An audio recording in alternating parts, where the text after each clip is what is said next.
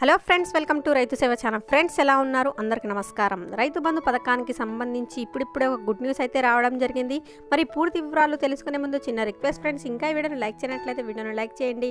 మీరు చేసే ఒక లైక్ నాకు ఎంతో సపోర్ట్గా మరి ఎంకరేజింగ్గా ఉంటుంది. అదేవిధంగా ఇక్కడ కనబడుతున్న red colour subscribe button click చేసి పక్కనే ఉన్న బెల్ బటన్ తప్పకుండా యాక్టివ్ చేయండి. సాగుకు పెట్టుబడి సాయం కింద రాష్ట్ర ప్రభుత్వం అందజేస్తున్న రైతు బంధు పథకానికి కొత్త వారికి అవకాశం కల్పించింది. దరఖాస్తు చేసుకునేందుకు గడువు ముగిసినప్పటికీ ప్రభుత్వం మరో ఐదు రోజుల పాటు పొడిగించింది. ఈ నెల ఇరవయో తేదీలో గ్రామ వ్యవసాయ విస్తరణ అధికారికి దరఖాస్తు ఫారంతో పాటు సంబంధిత పత్రాలు అందజేయాలని జిల్లా వ్యవసాయ శాఖ అధికారులు సూచించారు.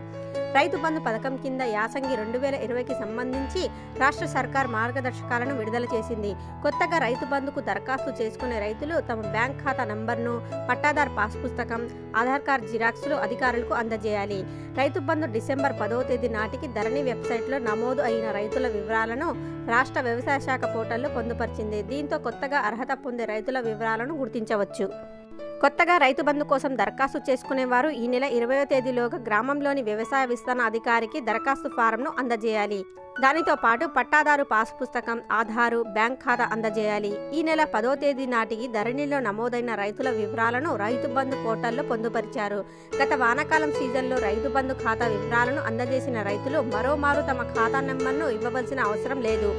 యాసంగి సీజన్కు రైతు ఖాతా క్లోజ్ అయినా ఇతర కారణాలతో ఖాతాను మార్చుకోవాలనుకునే రైతులు వ్యవసాయ కార్యాలయానికి వచ్చి నూతన బ్యాంక్ ఖాతా వివరాలను అందజేయాలి. ఈ నెల ఇరవయో తేదీ వరకు ప్రభుత్వం ఇచ్చిన గడువును రైతులు సద్వినియోగం చేసుకోవాలని వ్యవసాయ శాఖ అధికారులు అయితే అను కోరుతున్నారు. ఓకే ఫ్రెండ్స్ మీకు కనుక వీడియో నచ్చితే వీడియోను లైక్ చేయండి. ఇటువంటి మరిన్ని వీడియోస్ కోసం మా ఛానల్ సబ్స్క్రైబ్ చేసుకొని పక్కనే ఉన్న బెల్ బటన్ను తప్పకుండా యాక్టివ్ చేయండి. Thank you